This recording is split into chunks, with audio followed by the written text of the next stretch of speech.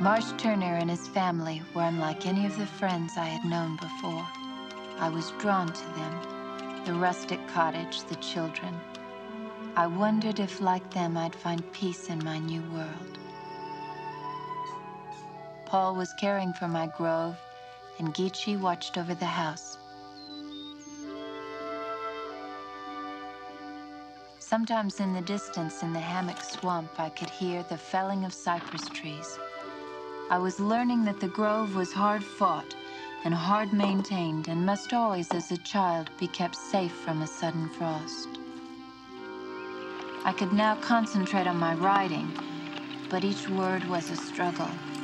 Phrases, lines, paragraphs eluded me.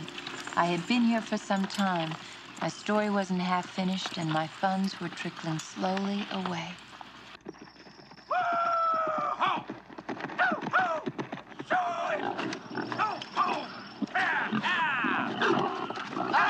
For heaven's sake, Geechee! For Pete's sake! Get out of there! Get, get, get out, get out of here! Get on! Ah, you're spies, they got you open Mr. Turner!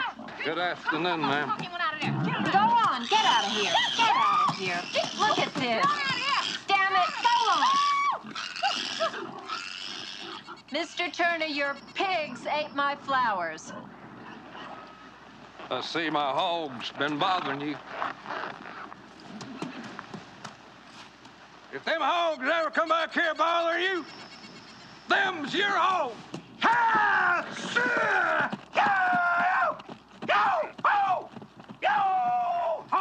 Yo! Ha! Ha! Ha! Go! Go!